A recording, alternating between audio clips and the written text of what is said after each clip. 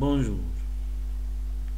Dans cette séance, on va démontrer l'exercice des doigts pliés et des doigts non pliés.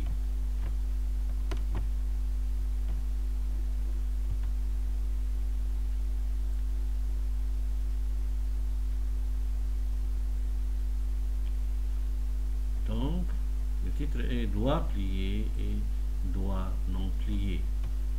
Par exemple, on va chercher le produit de 9 fois 7.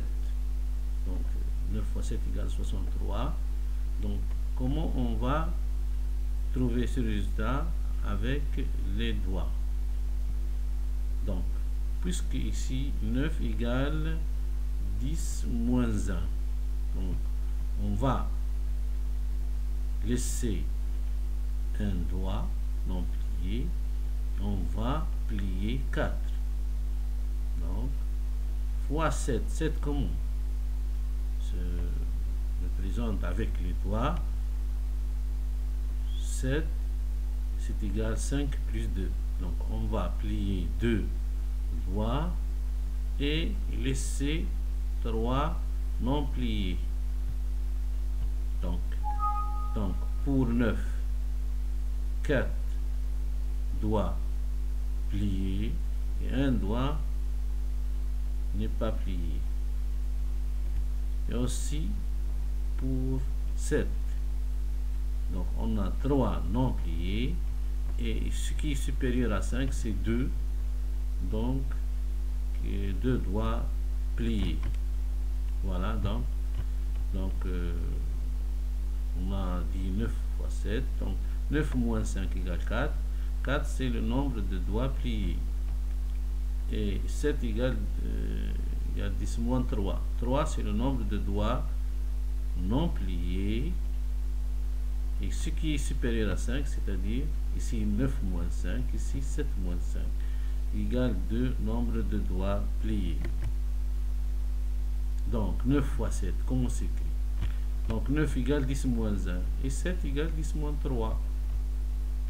Donc 10 égale 10 fois 10 moins 1 fois 10, moins 3 fois 10, et moins par moins ici, ça donne plus. Donc plus 1 fois 3 égale 10 fois 10.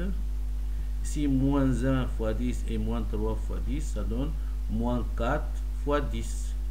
Plus 1 fois 3 égale. Donc je, je mets en facteur 10.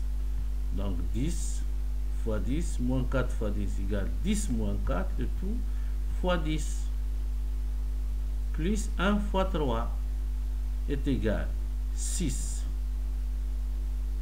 fois 10 plus 1 fois 3. C'est quoi 6 C'est la somme des doigts pliés. On a déjà dit avant de 4 plus 2. Donc, on a la somme la somme de 4 plus 2, c'est-à-dire 6 égale 4 plus 2. 4, c'est le nombre de doigts pliés à gauche de la main gauche. Et 2, c'est le nombre de doigts aussi pliés, mais de, de la main droite. Donc 6 c'est égal 4 plus 2, la somme des doigts pliés. Et 3 c'est le produit des doigts non pliés. 1 fois 3.